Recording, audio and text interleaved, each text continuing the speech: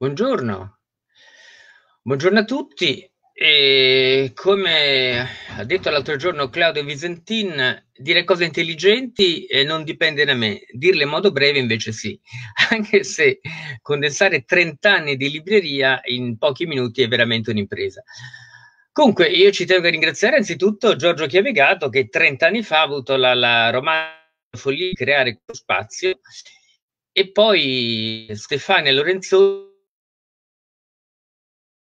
Lorenzo 28 anni di unità fra Giorgio e me, perché io ho cambiato vita radicalmente 15 anni fa, vita e città, per rilevare questa, questa libreria. E questo miracoloso traguardo è anche così è dovuto a tutti quanti voi, ma il grazie di oggi è per Paolo Sacchi che ci sta gestendo dietro le quinte ma con grande efficacia, ma anche e soprattutto al vulcanico Claudio Visentin, patron e fondatore della scuola del viaggio, senza il quale insomma, questa bella chiacchierata non avrebbe luogo.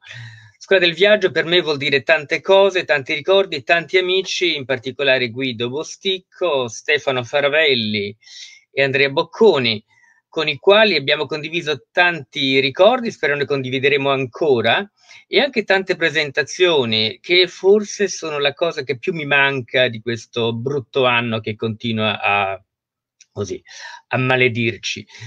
Perché era un modo per condividere temi, amici, libri con tutti voi e speriamo di riprenderlo. Per fortuna c'è l'online, quindi con la scuola del viaggio abbiamo dei laboratori in cantiere fra breve con Stefano il 28 marzo sul carnet di viaggio, con Claudio sulla scrittura di viaggio il 17 aprile e poi c'è la chicca, quest'anno l'iscrizione alla scuola è un libro, il libro di Andrea Bocconi, Io altrove, edito da Ediciclo, che così è il bonus per chi si iscrive alla scuola. E che dirvi, tutti questi autori in questi anni ci hanno mandato delle clip di auguri che condivideremo con voi in, uh, nei nostri social nei prossimi giorni e settimane. Ne saluto uno solo, uh, Andrea Semplici, che è sempre stato molto vicino a noi e che non sta passando un gran periodo, quindi forza Andrea.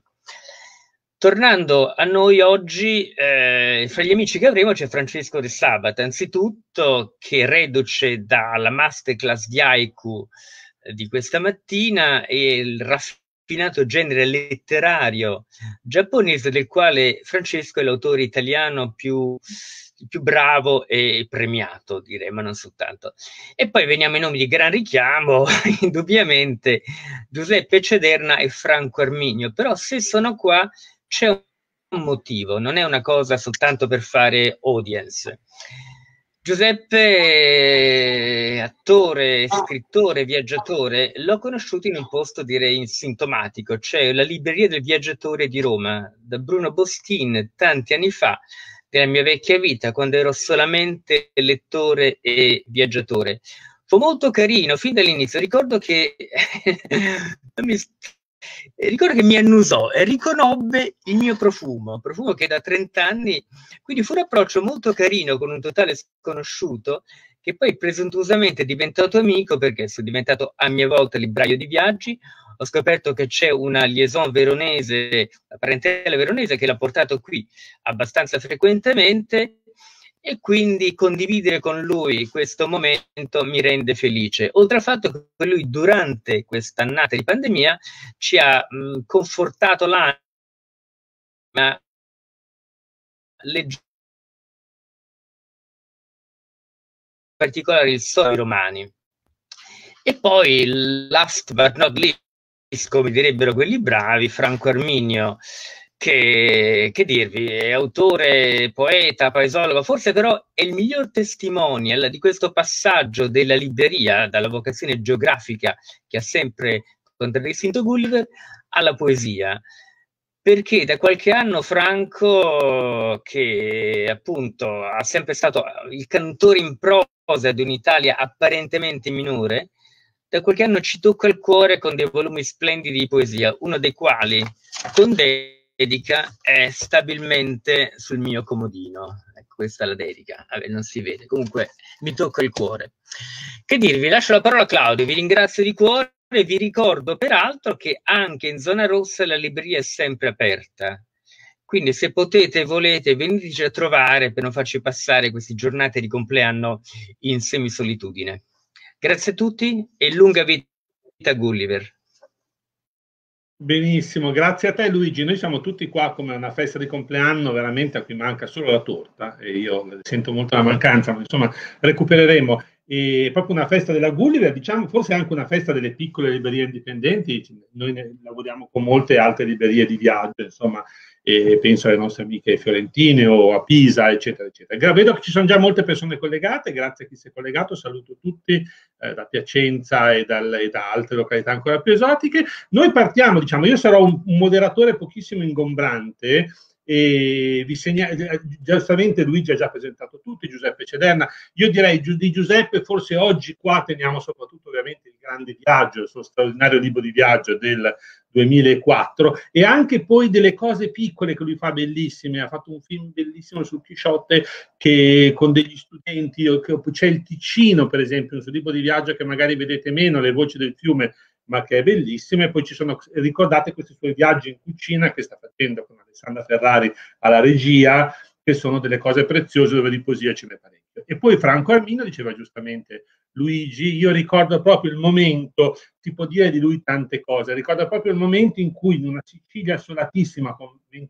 gradi, secondo me, non so quanto caldo facesse, ho proprio letto Vento forte tra la Cedona e Candela 2008. Lui è stato anche maestro nelle nostre summer school, come anche Giuseppe. Giuseppe è venuto la primissima eh, summer school nostra, però ricordo anche poi proprio questo vento forte tra la Cedona e Candela che fu proprio una voce nuova. Si può dire tutto, ma fu proprio una voce che fino a quel momento eh, non c'era. E poi naturalmente Francesco De Sabata che ha appena finito la sua lezione, che lasciamo magari riposare un attimo, ma lo recupereremo presto eh, con la suite per Aiku e questi suoi meravigliosi eh, lavori per Aiku. L'Aiku è qualcosa che è entrato nelle nostre scuole estive, ci ha un po' colonizzato lui a noi, cioè siamo stati nipponizzati dall'Aiku ma è stata anche una bellissima esperienza.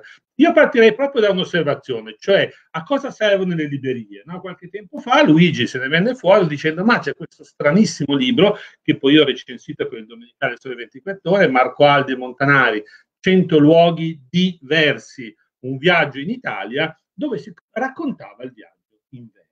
Allora, raccontare il viaggio in versi non è così eh, comune. Uno dirà, certo, c'è questo Omero, che è uno bravo, diciamo, che già un, parecchi, parecchi, un 2800 anni fa ha già raccontato grande, il più grande viaggio in versi. E lo sappiamo bene perché l'abbiamo letto con molti di voi insieme a Itaca. Però è anche vero che la prosa rimane il modo normale con cui noi raccontiamo un viaggio fino, fino a oggi. E invece questo libro di Marco Alde Montanari e diverse altre esperienze mostrano che si può raccontare un luogo attraverso la poesia. Allora la domanda diventa subito, che cosa cambia se noi raccontiamo un luogo attraverso la poesia? Che, in cosa cambia la prospettiva?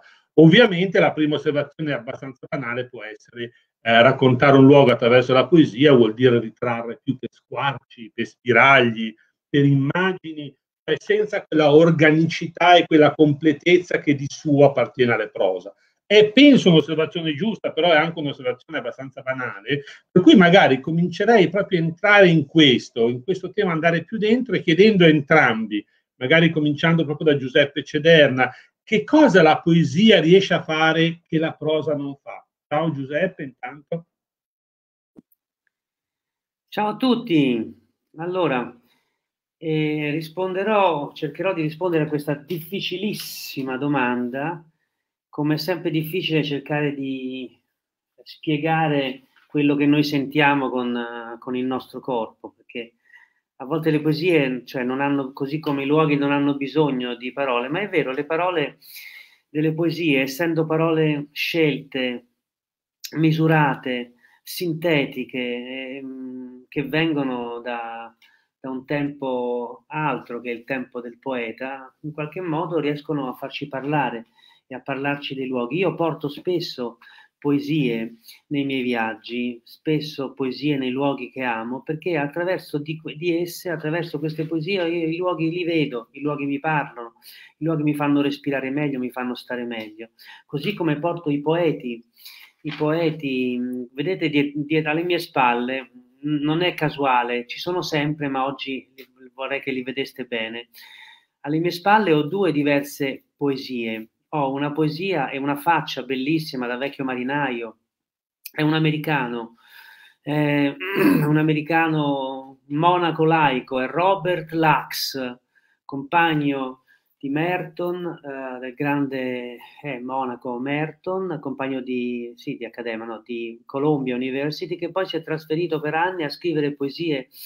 Vedete come scrive delle poesie spezzando le parole. E questo viveva nelle isole dell'Egeo, quindi la presenza di un poeta in una cucina, per esempio, rende diversa questa cucina, ti ricorda l'importanza della sintesi, della lentezza, del pensiero, del fermarsi, dell'ascolto, della musica. Le poesie hanno una musica naturalmente, che, che, che i luoghi passano attraverso la poesia. E, eh, alle mie spalle invece c'è un quadro di Enric Xenox, che è un poeta, artista, non è un poeta, è un pittore che vive ad Atene e quindi il Mediterraneo è attraverso di questo.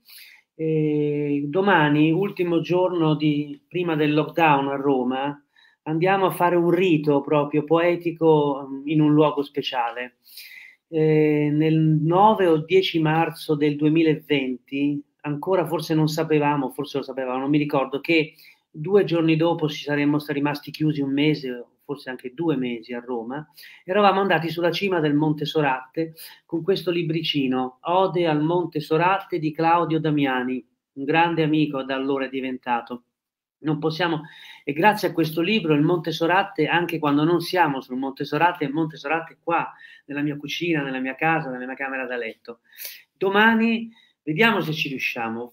Chiudiamo un cerchio per riaprirne un altro e torniamo sul Monte Soratte con questo libro, forse addirittura con Claudio Damiani, e leggeremo sulla cima del Monte Soratte queste poesie per vedere se il Monte Soratte ci porterà bene o comunque ci accompagnerà in questo prossimo lockdown. Giuseppe, scusa, ho parlato di luoghi, di montagna, di poesie e di poeti. Giuseppe, è interessantissima questa cosa, ma tu quindi vai in giro con dei pezzettini di carta in tasca e poi li tiri fuori e leggi e la, e, e, e la gente cosa dice di te? Cioè, certo, ma certo, guarda, io adesso qua, qua, qua davanti a me ho i libri perché mi sono preparato, perché sono a casa, ma nei viaggi, nei viaggi lontani, vai che vai nelle isole, vai che vai nel deserto. L'altro anno siamo, ho avuto la fortuna di andare in Giordania, pensate, a gennaio. Chi, chi, lo sapeva che dopo sarebbe tutto chiuso il mondo così? E sono andato nel deserto della Giordania, che è il Wadi Ram o Wadi Rum meraviglioso, uno dei pochi deserti vicini dove si può ancora andare e dormire sotto le stelle se uno può. E mi sono portato, vedete, questa è una poesia di Vivian Lamarck che poi vi leggerò, perché volevo dirvi, noi siamo solo uomini, eh, ce ne rendiamo conto. E allora io, mh, mm, mh, mm, vabbè, non posso trasformarmi in una ragazza purtroppo, ma ho qua molte poesie da leggervi, tre, quattro, tre o quattro poesie da leggere a voi e da leggere anche a Franco Arminio, perché ci tengo di avere un rapporto diretto con lui attraverso le poesie. Allora passiamo subito, passiamo subito a Franco a questo punto, che così poi quindi abbiamo Franco, vai. Franco, la stessa domanda potevo fare un po' a te. Tu scrivi in una tua poesia molto bella che ho qui davanti a me. Un pensiero che viene in un bosco è diverso da un pensiero che viene in ascensore, che trovo sia molto bello. Cioè, e quindi anche tu hai scritto sia poesia che prosa. Quando è che scegli l'una o l'altra? Cioè vai in un posto e dici scrivo una poesia oppure scrivo un capitolo di un libro? Dov'è la differenza? Ma intanto io penso che ci, in, ci possono essere dei, dei, dei, pezzi in prosa sui luoghi che in realtà sono molto poetici e ci possono essere dei pezzi scritti in versi che in realtà sono magari meno poetici. Quindi la differenza tra poesia e prosa è, è un po' così, non è, non è, così netta come spesso si pensa. E, in ogni caso è, uno va, va, va, in un luogo con il corpo, si fa attravers- attraversa il luogo con il corpo e si fa attraversare eh, dal luogo, cioè il luogo passa nel tuo corpo. Torni a casa, ti metti a scolare a testa in giù e quello che scende sulla pagina è un po' il resoconto del luogo. A volte appunto magari per un qualche motivo puoi decidere di farlo in versi perché ci sono solo alcune immagini particolari che vuoi fissare, altre volte vuoi diciamo, fare un discorso più lungo, più organico, come dicevi tu, e lo affidi alla prosa. Però poi magari all'interno di quella prosa c'è una scintilla poetica che magari non c'è nella poesia. Quindi Senti, questo tu racconti in una tua poesia molto bella che vorrei che leggessi tu magari, perché sì. penso che molte persone che ci ascoltano sono tuoi lettori anche di poesia, racconti un viaggio frustrato o frustrante a Marradi cercando Dino Campana. Ah. Ora, se ci leggi magari questi versi okay. e poi ti dici perché Dino Campana non l'hai trovato là dove si supponeva che avesse il domicilio, insomma, quindi non era, sì. non era in locanda Marradi, che ne è di lui. ok, allora, Cerco le terre del poeta. Infilo ogni tanto qualche paese fermo, sigillato nella sua tristezza. Arrivo a Marradi, dove puoi trovare tutto, ma non Dino Campana. Leggo una sua poesia. Sento l'anima che mi piove addosso ed è un rumore che non si ferma mai. Beh, ero andato a vedere questo paese mm, perché appunto volevo vedere il paese di Campana, ma Campana non c'era ovviamente, non solo perché è morto, ma proprio perché non, nell'aria non c'è niente che facesse in qualche modo pensare a, a lui. No? Ci sono dei posti, per esempio a Liano, dove vai adesso e in qualche modo la descrizione del paese che fa Carlo Levi, in qualche modo è ancora lì, no? Cioè Carlo Levi è seppellito, ma ehm, in alcune facce, in alcuni muri, senti ancora quel, quella vicenda raccontata nel suo libro. E a Maradi questa cosa non, non c'è. Mm. Senti, è qualcosa che capita ogni tanto, uh, Franco. Per esempio, leggevo anche, volevo che tu leggessi, per esempio, questo viaggio di nuovo frustrante. Allora, sei un poeta un po' triste. Diciamo. Sicuramente questo diciamolo senza falsa, senza falsa timidezza, sei un poeta un po' triste, è uno dei nostri obiettivi di questa festa. Uno dei più tristi. Eh, de, della Gulliver è di rallegrarti e fare futuro tu scriva motti scherzosi e carole e altre cose di questo tipo. Però sei anche stato sul delta del Po, vorrei che tu leggessi anche questo passaggio, certo. cercando in fondo, in fondo le immagini che aveva visto Gianni Celati e non le hai trovate e c'è un verso bellissimo, dice c'è in questo momento, in questo mondo in cui faticosamente viviamo, c'è una grande gomma che cancella i luoghi. Magari poi ci dici qualcosa anche di questa grande gomma. La, vi leggo la poesia? Okay. Leggila assolutamente. Ok. Il delta del Po non è più come lo descrive Gianni Celati. In pochi anni hanno provato a nascondere ciò che sembrava vecchio, trascurato. La grande gomma che cancella i luoghi è arrivata anche qui. Inutile indugiare più di tanto, meglio prendere un caffè con le anguille e ripartire.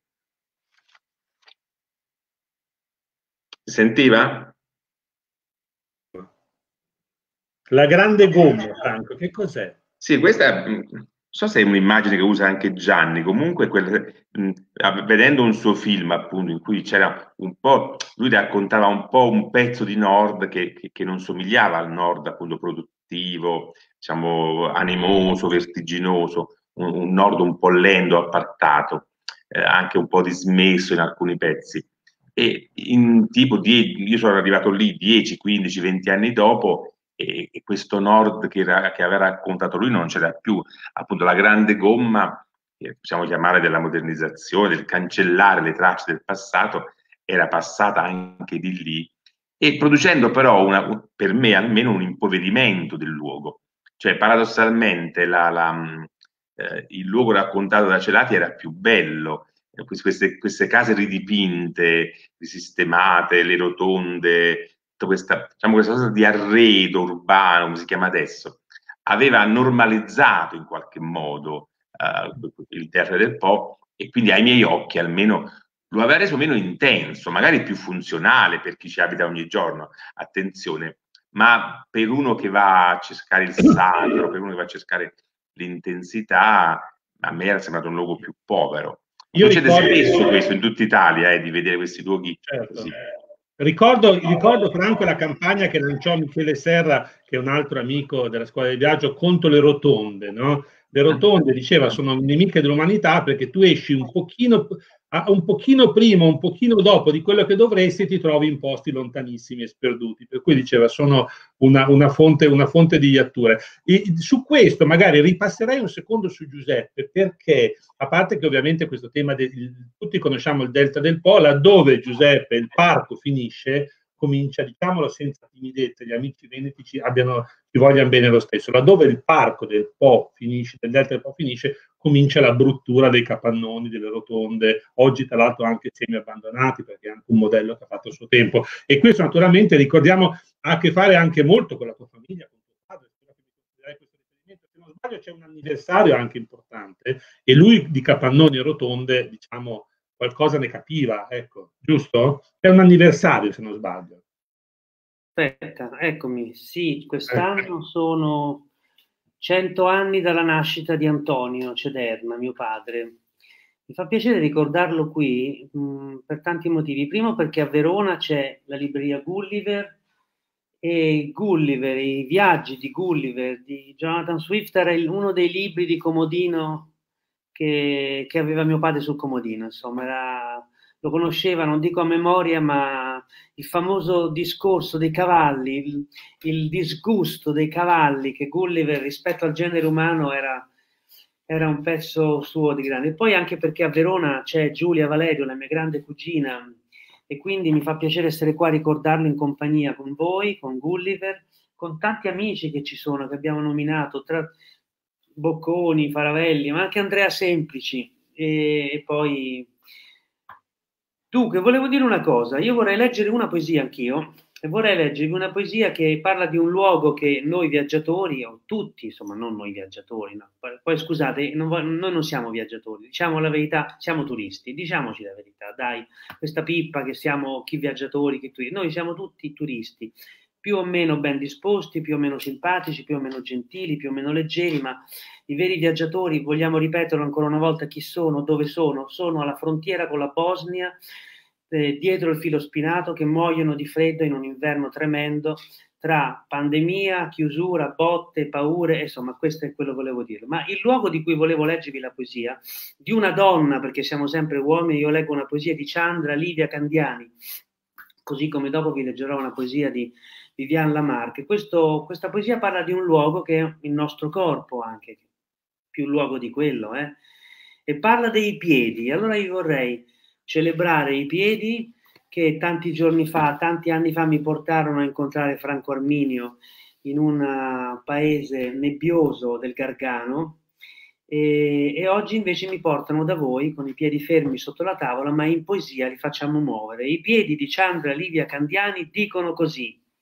I piedi hanno un grande arco per disegnare il bordo del mondo, seguono le tracce dell'invisibile, lo disegnano, si stanno sempre avvicinando, pensano.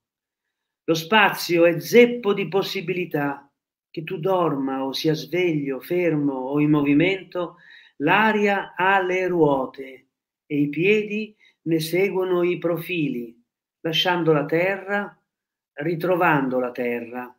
Non domandarti mai dove vai, solo fallo bene.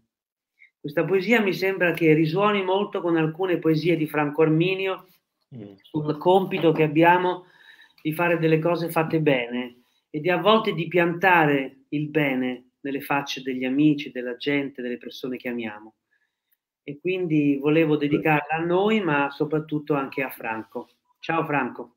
Ecco. Tra l'altro hai accennato, hai accennato al uh, modo in cui vi siete conosciuti. Dove vi siete conosciuti voi due? Io, vorrei, io, io ci ho pensato tanto, perché eh. poi, però Franco Arminio è diventato molto conosciuto, e pur, pur essendo sempre ritirato, Mm, non, l'ho, non, l'ho, più rivisto, ti vedo oggi, ma è, mm. non importa perché io ti leggo e noi ci, ci possiamo seguire attraverso... Io ti ho incontrato, Franco, e poi vorrei se, vedere se, se, se, questo incontro è avvenuto davvero o me lo sono sognato, perché a volte succede. Mm. C'era un, fe, c'era un paese, era sera, piccole strade con scale in salita e in discesa naturalmente, perché la salita puoi vederla da una parte o dall'altra. C'era un odore di legna nell'aria, mi hanno detto c'è un festival, un festival, sì, un, festival, un paese così piccolo, nel Gargano, in montagna, sì. E c'è un poeta che sta leggendo, Franco Arminio. Ho aperto una porticina, si è aperta una stanzetta con 30 persone, 20 persone sedute. C'era un poeta che leggeva le poesie e con la faccia un po' burbera mi ha guardato come dire che cosa vuoi tu qua? E non sapevo se dovevo andarmene via o rimanere, ma poi come fanno i poeti che sembrano burberi, ma forse non lo sono, e mi ha fatto un cenno come per dire ho capito, ah, mettiti qua, se non c'è una sedia, mettiti lì, ascolta. E sono rimasto fino alla fine, giusto Franco? Questo è quello che mi ricordo, un'accoglienza in poesia, con poche parole. Tu che ti ricordi? Ah, sì, sì, no, eh, ero, ero, contento di vederti. Mi, mi, ricordo che ogni volta che vado a Monte Sant'Angelo è, è diverso. Ci pensavo proprio ieri, paese bellissimo. Lì ho preso freddo, fresco, sono sudato, ehm, eh, ho incontrato persone note come te, ignote, pellegrini. Ehm, sono dei posti in cui si torna. Ecco, eh, io non ho, per me è bellissimo Monte Sant'Angelo, però non mica ho capito perché. Eh, così un po' come le persone, un po' come i luoghi, ci possono stare simpatiche, in realtà non si capisce perché. Poi quando ce lo chiedono noi proviamo a dire qualcosa, no? Ma in realtà non si sa, è un po', è, è un, po un, mistero. E magari poi arrivi a Monte Sant'Angelo la prossima volta e ti scocci e trovi appunto che la gomma ha cancellato anche lì qualcosa, no?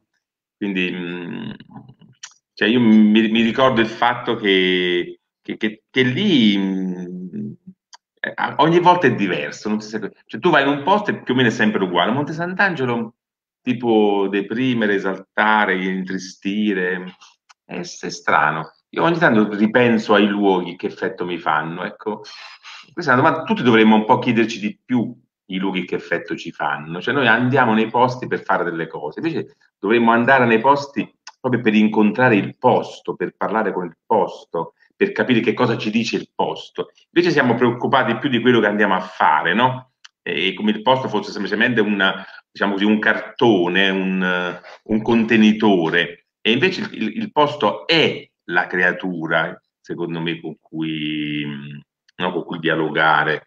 Quindi, e, so che se succede, a me, però, a me succede che molte cose me le scordo. Ehm, e questo è un grande dolore, cioè andare in paesi e capire che dopo anni un po' ti scordi tanto è una, è una, è, ecco, è una grande tristezza. Perché, perché, dobbiamo dimenticare tanti dettagli, tante cose che abbiamo visto, no? tanti, e però questo sembra che il nostro cervello non ce la fa a, Guarda, è, conservare. Posso dire una cosa? Prego. Quello che stai dicendo è proprio quello che diceva anche il grande, a proposito del viaggio, no? Eh, Saramago. C'è un pezzo alla fine del suo viaggio in, Por- in Portogallo dove gli dice il viaggio, solo il viaggiatore finisce, il viaggio non finisce mai, bisogna tornare nei posti, tornare, tornarci quando piove, tornarci quando eh, c'è il sole, vedere quello che non si è visto la prima volta, rimettere i piedi sui passi già dati. E a me questo mi ha sempre mh, confermato il fatto che a, a, me, a, a me piace tornare nei luoghi, proprio perché ogni volta sono diversi e ogni volta c'è una sorpresa, non solo perché magari hai hai instaurato un'amicizia con un barista, con un venditore di una cosa, con un amico e quindi vuoi continuare a approfondire il rapporto, ma proprio il rapporto con il luogo è diverso, perché ogni volta vedi, senti qualcosa di diverso perché tu sei diverso anche, quindi il luogo ti parla anche di te ovviamente e ti parla anche che quello che dicevi te, la cosa terribile della dimenticanza, no? Allora cosa facciamo noi che giriamo col taccuino? sembriamo un po' quel patetico personaggio del Gabbiano che c'è un personaggio del Gabbiano di Chekhov che va in giro, un professore, si segna tutto per non dimenticarsi. Naturalmente io me ne frego, io vado sempre, giro col taccuino e mi segno tutto per non dimenticare. A volte, a volte me lo dimentico lo stesso, però quando apro il taccuino, qualche volta qualcosa mi torna, come se un, un odore, una luce. Se io avessi scritto adesso quell'incontro che è più simile a un sogno, quella porticina che si apre, eh, guarda che è un sogno, entri in un villaggio deserto, entri, si apre una porta e dentro c'è un piccolo teatro con un poeta che legge le poesie di notte, di sera, in un paese dimenticato dal mondo e che fa questa specie di piccolo... Mh, mm, insomma, eh, tu eri un po' come nel buio, eri un po' come una luce. E allora, eh, se io avessi scritto quella cosa lì, forse avrei scritto sono, si è voltato uno in terza fila e mi ha guardato, mi ha colpito perché quella era una bella donna e lui la guardava e leggeva le poesie a lei perché era una bella donna e sono sicuro che lui stava, cioè magari capito c'erano queste cose qua o come eri vestito o l'odore che c'era in quella sala, però non l'ho scritto e quindi la, la, lo ha. Giuseppe, poi tra l'altro mi hai ricordato questa immagine mi ha veramente ricordato, ricordiamoci anche, diciamolo stamattina, cioè perché, che fatica, oggi, oggi, Franco appunto è un poeta conosciuto, però per parecchio tempo è stata una figura che si faceva molto fatica a collocare, no? quest'unico paesologo italiano che si era inventato una disciplina e ci si era infilato dentro. E per molto tempo è stato un personaggio stravagante e devo dire, io forse il coraggio che ha avuto anche Franco, no? cioè da solo, senza preoccuparsi dei riscontri, di andare avanti per la tua strada, fino a quando poi diciamo sei, sei stato compreso e oggi, e oggi diciamo sei pienamente apprezzato. Tutto quello che state dicendo, però, secondo me, Franco, si lega a quella tua poesia che dice per prima cosa attenzione al luogo. Io ti chiederei allora, perché qua veramente, no? Cioè, c'è il senso, intanto segnalo anche che sulla chat stanno passando delle cose bellissime, le ringrazio tutte, vedo Gloria, eh, vedo Barbara che giustamente parlava dell'odore di legna dei paesi di autunno, è una poesia anche questa. Allora, Franco, ce l'hai? Così, Guarda, aspetta un attimo, sì sì ce l'ho, ce l'ho, ce l'ho. Per okay, la leggo? il luogo, perché molte volte andiamo in un posto ma in realtà è come che non ci fossimo, no? che non fossimo lì. Allora, vai. Ok, la leggo, leggo la parte iniziale e la parte finale che fa così. Per prima cosa attenzione al luogo. Un pensiero che viene in un bosco è diverso da un pensiero che viene in ascensore. Capire che la questione non è farsi spazio nel mondo, ma sentire lo spirito che c'è in ogni spazio. Mm. Se, senti, il, adesso è Xorma, mi, me piace tantissimo. Io eh? avrei tenuto anche un verso, Franco, dove dici disertare le chiacchiere quanto più è possibile, che è un bellissimo monito a tutti noi. E lì è uscito da poco un libro di Exorma bello, già che parliamo di libri e di poesia, eh, dove si riprende questa idea del genius loci. È un'idea molto antica. Gli antichi andavano in un posto e sentivano che lì c'è un genio, questo genius loci del quale noi ci siamo completamente dimenticati. Tu lo senti ancora quando vai nei paesi? Quando... È un genio? Allora, ehm, è una cosa che è tutto soggettiva. A me eh, emozionano moltissimo i paesi cosiddetti morti, che poi morti non sono, perché sono semplicemente paesi senza esseri umani, ma ci sono le bisce, le farfalle, gli alberi, eccetera. Quindi, cioè, mh, sento, mh, diciamo, con grande forza, sento quasi il sacro nei paesi abbandonati. Quindi per me Rogudi nella Spromonte, Craco in Lucania, Roscigno in Campania e tanti altri sono i posti diciamo, in cui sento di più la, la vita, paradossalmente. Anche ieri al mio paese siamo andati con degli amici in alcune case abbandonate, eh, in cui sono rimasti gli oggetti che c'erano negli anni 70 Ecco, sono tornato a casa con una certa emozione. Se vai in una casa invece, diciamo, in funzione, con dei, dei cittadini, con dei mobili contemporanei, con la TV accesa e quant'altro, mh, mm, lì così un po' la, tende a salire la noia. Ecco, questa è, eh, non, non, è un giudizio, diciamo così, eh, così, è proprio la sensazione del mio corpo, cioè a, il sacro affiora dove gli esseri umani sono andati via. Tra l'altro Ferragutti ha scritto un libro molto bello sui paesi abbandonati e quindi se un giorno andate in cucina e c'è Franco Arminia perché pensava che fosse una casa abbandonata e c'è entrato dentro, invece era casa vostra. Può succedere anche un bel avvenimento. Vorrei tornare un secondo a Giuseppe, e poi voglio farti leggere però un'altra poesia tua, Franco. Voglio tornare però un secondo a Giuseppe per questo. Eh, pensavo, Giuseppe, anche ai tuoi viaggi in cucina, a, ma anche proprio il modo in cui tu usi le poesie degli altri. Cioè, è come che tu ne fossi circondato, come un funambolo, no? Prendi un verso, una poesia. Allora ti direi proprio che uso fai nella, della poesia nella tua vita? Tu hai, sei più prosatore o autore di teatro che poeta in senso stretto, però sei costantemente circondato da poeti. Domanda, perché dovremmo circondarci costantemente di poeti come fai tu? Convincici. Beh, innanzitutto, ragazzi, io sono un funambolo, guardate qua. Guido, io mi sto allenando da, da, giorni a giocare con queste pallottoline, così come gioco con le poesie. Io, so, uh, io, ho cominciato come clown, ragazzi, adesso voi pensate che io sia una persona seria, ma non lo sono. E mi sono circondato di poeti lentamente, come mi sono circondato di viaggio sempre di più, perché i poeti e le poesie eh, ti aiutano a vivere meglio, insomma, ti aiutano. Quando sono rimasto chiuso in questo tremendo lockdown, l'anno scorso la mia compagna mi ha detto guarda il teatro l'hai perso, il pubblico l'hai perso, ti aggiri per casa fumando come un'anima persa, ti piace, ti piace portare in viaggio le poesie, perché quello che dicevamo prima, io prendo un, una, una, poesia così sfotocopiata, la piego, la piego in quattro, non si rovina la poesia perché poi tu la, la, metti in tasca e poi te la leggi dall'altra parte del mondo o sotto casa, lo stesso, anche la piazza va bene. Ma insomma, ma, eh, quindi eh, viaggia, viaggia in cucina con le tue poesie, preparati un raccontino breve di due minuti, tre minuti massimo, e leggi le poesie.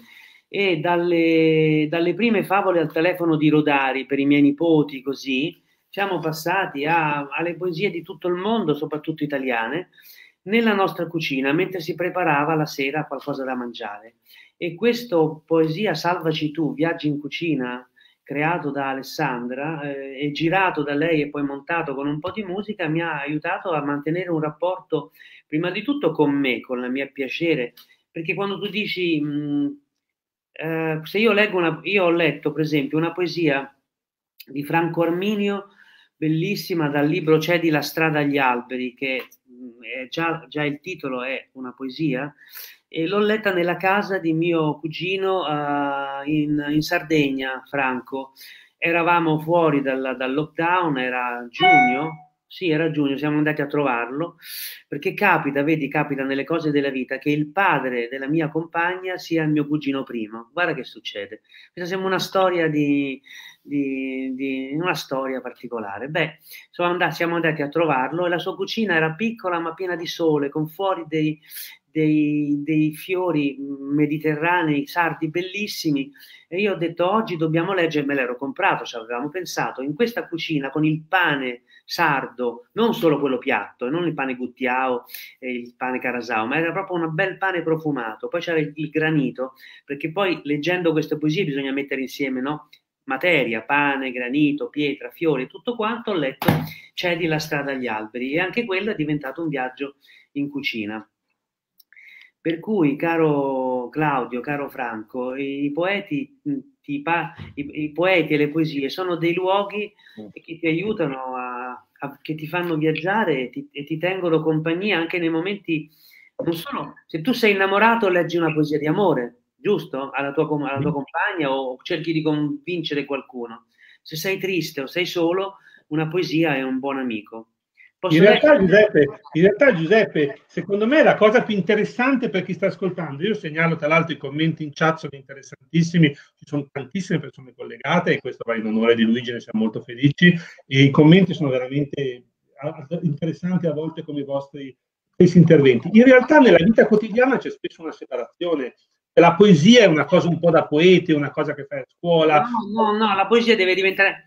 Eh, mi interessava, cioè, quella roba lì. Devi, devi, devi mordere i poeti, se no rimane una consolazione dell'anima che però è una consolazione un po' triste, no? come se il poeta sia una specie di medicina, un balsamo che mette ogni tanto. No, è un nutrimento.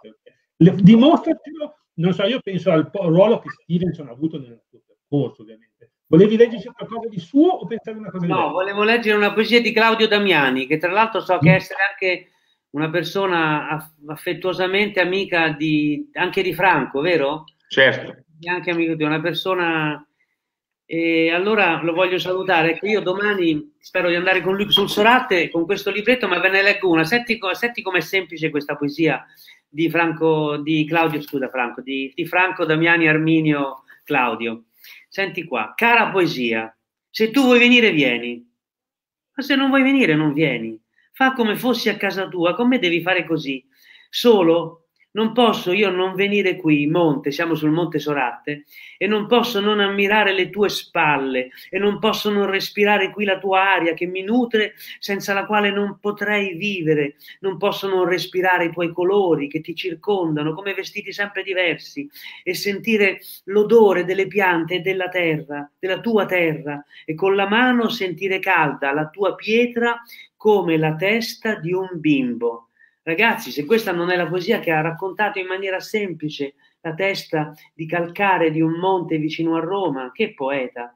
Ed è quello che dicevi te, Franco, eh, che, che, che, dicono i grandi poeti e viaggiatori.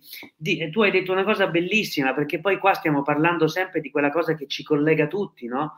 Siamo tutti collegati quando sentiamo le, i luoghi, le poesie, la, la, la, la voce del mondo. Tu hai detto che il, il, luogo, i luoghi entrano nel corpo e ne hai parlato come di un'acqua, no? come di, di un liquido che entra e che poi però purtroppo scorre via. Voi andate a leggervi le ultime pagine del, del uno dei libri più belli di viaggio. Se non lo conosci, eh, Franco, prendilo. Si chiama, è un libro degli anni 50, La polvere del mondo sarebbe in, in, inglese ancora in francese più bello è l'usage du monde, cioè il consumo del mondo. Va bene, la polvere del mondo eh, è un viaggio in topolino di un poco più che ventenne, Nicolas Bouvier, che da uh, Belgrado, forse lo conosci, da Belgrado arriva fino in India, quasi in India in topolino. Dovevano, avevano soldi per due mesi, dovevano andare nei Balcani, rimangono fermi ed è un viaggio straordinario. Alla fine alla fine c'è la mezza pagina, forse più bella e più poetica in prosa, in cui lui dice in quel giorno, lui è sulla frontiera, sotto una montagna di 4.000 metri, sulla frontiera tra Pakistan e Afghanistan, e dice in quel giorno io avevo veramente pensato di capire qualcosa attraverso il viaggio, le cose. E dice come un'acqua il mondo entra, entra, entra di noi, ci presta i suoi colori e poi se ne va via, ci lascia, lasciandoci soli, con quell'insufficienza dell'anima che, adesso non me lo ricordo bene, cioè ci lascia soli con quell'insufficienza dell'anima che è qualcosa che ci spaventa, ma che, con cui combatteremo tutta la vita, ma che paradossalmente è il nostro motore che ci tiene in vita, cioè cercare di combattere con questo vuoto, con questo riempi, essere riempiti da, dalla vita, dalle cose meravigliose, anche dai dolori e poi rimanere da soli e come tu dici sgocciolare e quindi te lo volevo dire perché vedi, hai detto una cosa, una delle, delle cose più belle, lo, lo, hai detto con la tua storia, con la tua voce, con la tua barba e 50 anni fa, 70 anni fa, Nicolas Bouvier aveva pensato in una frontiera lontana questa, questa cosa così simile, quindi è, è, molto bello che i poeti e le persone sensibili in generale siano così collegate, no? Non l'ho letto questo libro, ho letto un'altra cosa di Bouvier. Però, insomma, grazie. Grazie a te. Ve lo mostro, questo, eccolo qua, è un libro ovviamente fondamentale, è un, uno dei libri che scopri nelle librerie di viaggio, perché sennò difficilmente qualcuno ti dice appunto leggi La polvere del mondo, è Montaigne ovviamente, Louis Monde di Bouvier. Forse lo rileggo io Giuseppe, tanto noi qua non è che abbiamo da fare un programma, no? perché è veramente straordinario, dice quel giorno veramente ho creduto di afferrare qualcosa e che la mia vita davvero ne sarebbe stata cambiata.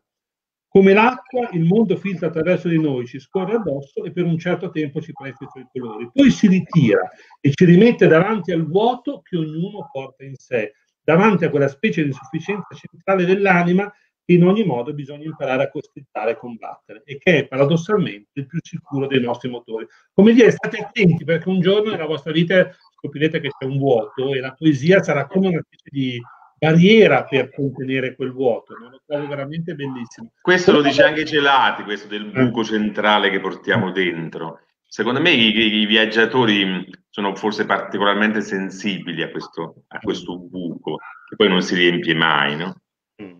Eh, ma in fondo, Franco, la tua poetica, no? la, tua poetica, la tua poetica è che noi forse, cioè, mi sembra di dire, noi spesso cerchiamo luoghi belli, allegri, divertenti, ma ci sono luoghi interessanti, anche un paese triste può essere interessante e in fondo quello che ci interessa è che ci ti parli, non siamo lì per farci solo divertire, credo. Volevo chiederti anche di leggere una cosa tua, mi ha molto incuriosito, quella tua poesia di Agliano, che definirei un po' psichedelica, poi ci dici, no, prima leggila, poi ti chiedo sì.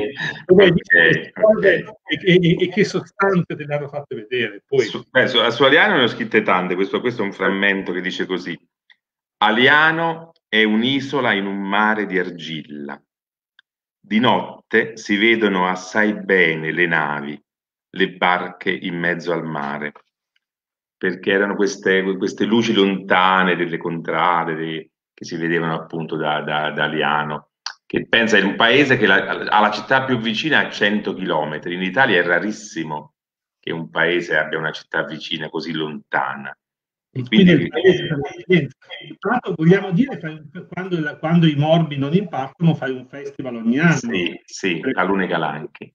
Ed è un paese dove, dove ho scoperto la, diciamo, la, beatitudine della desolazione, la bellezza del luogo inoperoso, questi calanchi che anche Carlo Levi descriveva come orridi perché appunto non si poteva produrre nulla.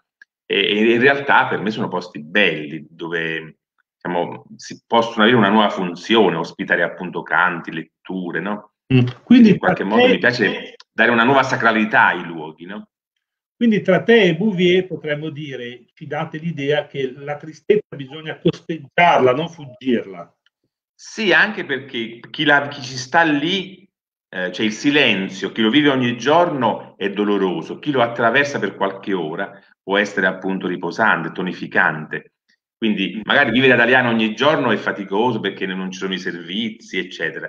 Però arrivare lì e sentire quell'altrove nei confini nazionali è straordinario, ti dà quel senso di intensità che non trovi a, a Pisa, a Macerata, a Rovigo, ad Avellino. Insomma, questo, questo capita a me. Spero intanto di aver migliorato il mio microfono, grazie a chi me l'ha segnalato, spero che mi sentiate meglio adesso.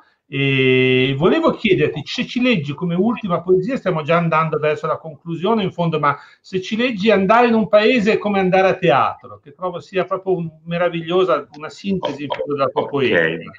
Ok. Andare in un paese è come andare a teatro, un teatro a cielo aperto, la recita muta dei muri, dei lampioni, il canto delle porte chiuse con lo sguardo dei vecchi, con le parole che nessuno ascolta. È un gatto che attraversa la strada, una macchina parcheggiata, le cose singole e spaiate che si impongono all'attenzione perché non sai che fare, perché non puoi stordirti con la patina dell'eccezionale.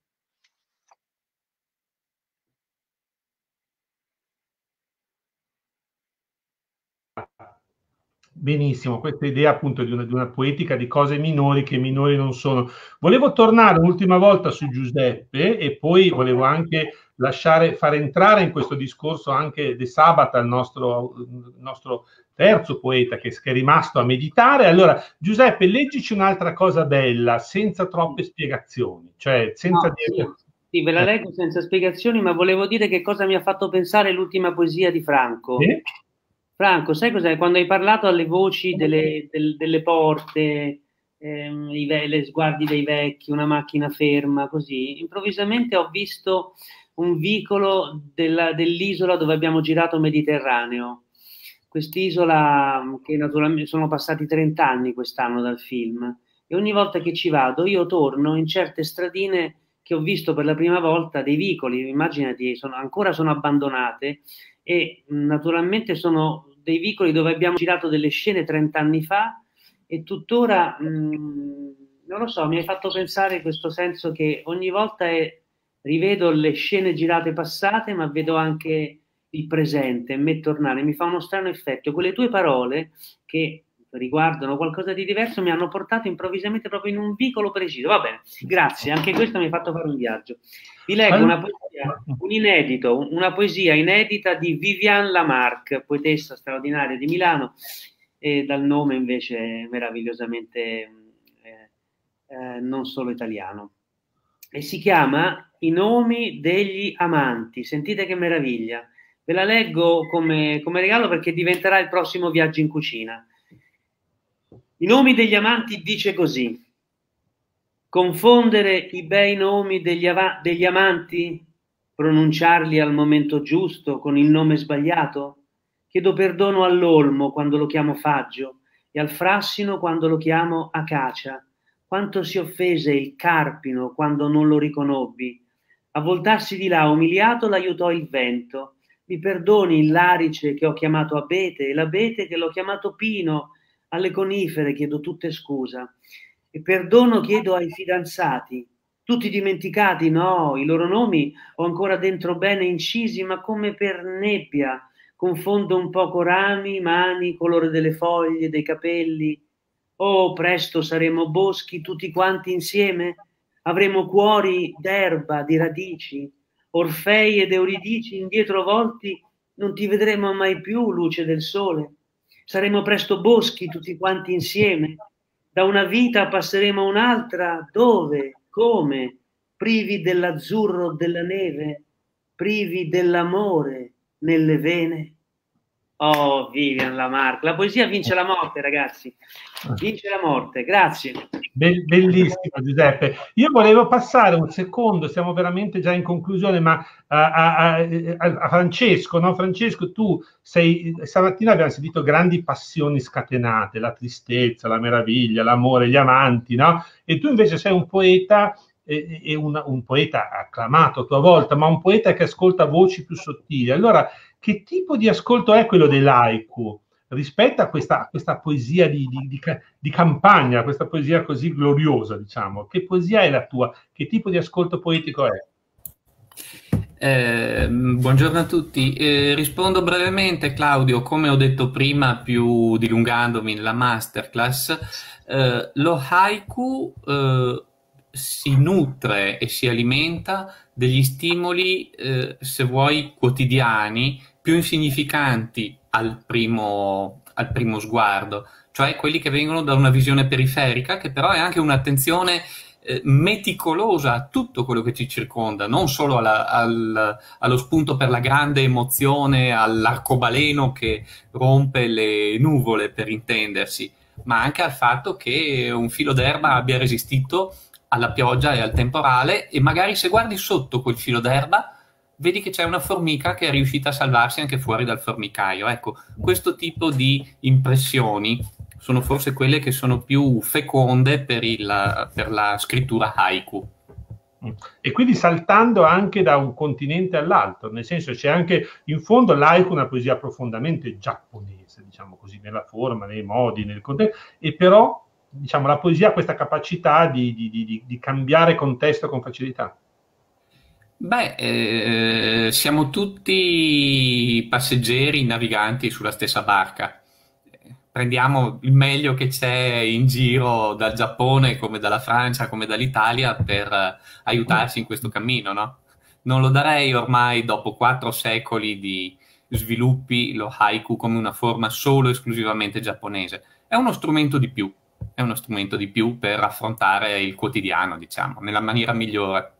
Benissimo, io credo, il, lascio un'ultima battuta, allora facciamo così magari un'ultima battuta a Giuseppe e a Franco, a tutte voi tre, così vi ringraziamo di essere qua oggi e poi magari un saluto finale di Luigi che potrebbe riprendere la parola e eh, concludere. Molti già hanno mandato saluti e affetto, dice Maria Teresa, dice bellissimi viaggi in cucina, per esempio, che meraviglia questa poesia degli amanti, ecco, quindi tacciamo poi per Franco, dice noi creiamo un paese in internet, eccetera, eccetera, e quindi insomma molte, dice la poesia, Veronica, la poesia mi ha salvato in questi mesi, quelle di Franco Arminio e proprio di, di, di Chandra Candiani e della Zimbosca, quindi insomma è stato molto, i commenti da soli meritano molto, li cito, li cito rapidamente, ma sono veramente molto belli. Un'ultima battuta, allora, Franco, Giuseppe e poi Luigi a concludere. Ma io vi faccio un invito, appena finisce la, la clausura, andate in, nei paesi dove non va nessuno, andate a fare quello che chiamo turismo della clemenza, cioè andate a parlare con i vecchi, anzi ad ascoltare, basta una domanda, com'è? E parti dalla storia, anche perché gli altri potranno andare in giro al mare, a, all'estero, i vecchi resteranno nei, nei paesi dove stanno eh, appunto da, da soli. Quindi secondo me è una, un bellissimo gesto andare, andare, ad ascoltare i vecchi. Perfetto, Giuseppe.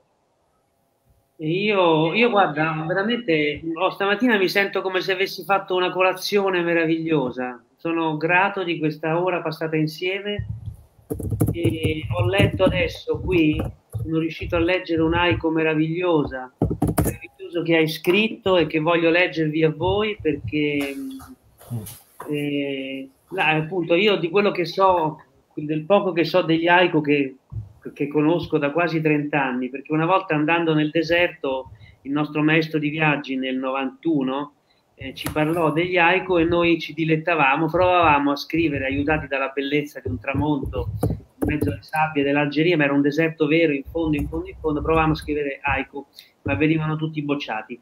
Invece questo ve lo leggo perché lo ha scritto un maestro che è tra noi, ti ringrazio per questa meraviglia, ed è un c'è una piccola illuminazione come ci deve essere sempre alla fine di un aico. C'è scritto ed è così, bosco di faggi, ogni giorno tra i rami sempre più cielo.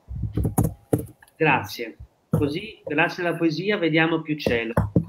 Grazie, grazie mille. Nel frattempo sono, li, li, il turismo della clemenza è già molto piaciuto, sta già diventando un hashtag di tendenza, Franco, quindi usciamo dal, dal lockdown con il turismo con il turismo della clemenza e poi dice librerie, patrimonio dell'umanità. Allora, in attesa che le librerie diventano patrimonio dell'umanità, noi ci, ci accontenteremmo che sopravvivessero. Ecco, ho fatto un doppio salto mortale tra congiuntivi e condizionali, ci accontenteremmo che sopravvivessero in questi anni difficili, però insomma Luigi, allora complimenti per questa festa, la tua decisione di aprire una sezione poetica secondo me non avrà mai l'approvazione della Bocconi non sarà mai una strategia commerciale vincente, te lo devo dire con dolore, però diciamo, sembra, stato, sembra essere stata una buona idea.